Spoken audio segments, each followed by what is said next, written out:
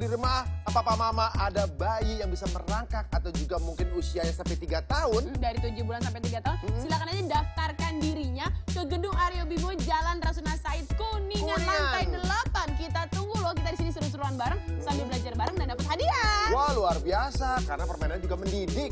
Kalau gitu langsung aja kita mulai acaranya di A, B, C. Aksi Bocah Cilik. Joget dulu. Oke. Senang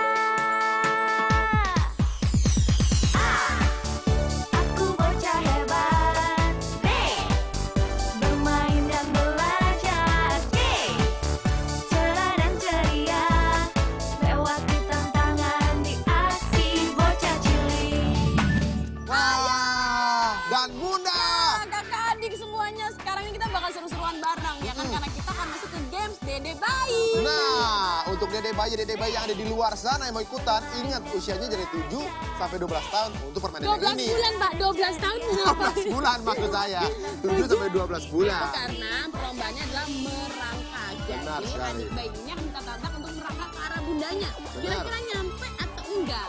Benar, karena ini apa namanya merangsang bagaimana pergerakan motorik dari adik-adik semuanya. Betul. Nah, Dan jadi kita pancing-pancing pakai apa aja pancingannya? Misalnya ada yang biasanya bawa botol, ada yang biasanya bawa bantal kesayangannya, Hmm. bawa selimutnya, neneknya dibawa, mbaknya dibawa, semuanya dibawa. Bebas siapa aja boleh, tapi kita juga eh, siapin yang namanya pengalih perhatian. Nah, Nah, kira-kira mereka bakal ke distract atau enggak? Tapi kalau misalnya kita mau mainin, kita lihat dulu peraturannya seperti apa. Ini dia. ini dia.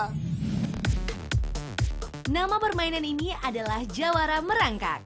Peserta permainan ini adalah adik bayi berusia 8 sampai 12 bulan. Satu persatu para peserta ditantang untuk menuju sang bunda yang berada di garis finish. Sementara sang bunda bertugas memancing adik bayi untuk mencapai garis finish secepatnya. Peserta yang paling cepat mencapai garis finish akan memenangkan permainan. Namun untuk membuat permainan lebih menarik di dalam zona permainan akan ada banyak benda-benda yang mengganggu konsentrasi si adik bayi. Sementara di garis finish akan ada beberapa orang pengganggu yang siap menghalangi si adik bayi menjadi jawara merangkak. Jika dalam waktu yang telah ditentukan kelima peserta tidak ada yang mencapai garis finish, peserta yang paling dekat dengan garis finish memenangkan permainan. Bayi lucu yang pertama kali lomba ini namanya Zukov. Hmm, ganteng ya. Pastinya ditemenin sama Mama Philly. Hari ini kita ada eh, keturunan dari Rusia. Siapa namanya? Zukov. Zukov. Oke, sekarang Zukov siapa tahu lebih cepat ya. Satu, dua, tiga. Zukov berjalan, Zukov berjalan. Oh, lihat SpongeBob senang sekali bersihin lantai, bersihin lantai, bersihin lantai, bersihin lantai, bersihin lantai. Iya, ada kanguru. Belum tahu mamanya mana. Nah, ketemu mata mamanya. Tadi Aku di sini. Aku di sini. Eh, Mama, teriak mama dia. Berjalan Jukov, Jukov, Jukov mendekati. Dia bingung, dia bingung. Bola basket sama mainan nunggu ya. Udah punya di rumah bola basket katanya ini aja deh, SpongeBob aja deh katanya. Oh, konsentrasi buyar, mundur lagi. Pakai gigi mundur, gigi mundur. Ini mama. Ah, kasihkan main itu kayaknya.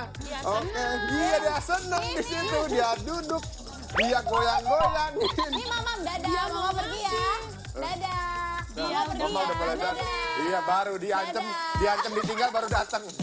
Nah, Ayo, dia ngaso dulu.